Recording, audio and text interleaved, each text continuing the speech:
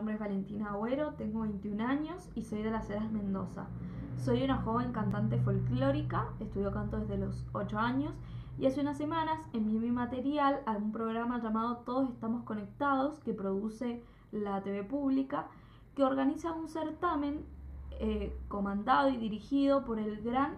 Lito Vitale y el sábado tuve la grata sorpresa de que me llamaran para avisarme que había quedado seleccionada entre las 12 personas que van a participar de este concurso. Va a durar tres meses donde vamos a tener capacitaciones de canto, coaching vocal, de manejo de redes y eh, Lito nos va a ir poniendo desafíos que vamos a tener que ir pasando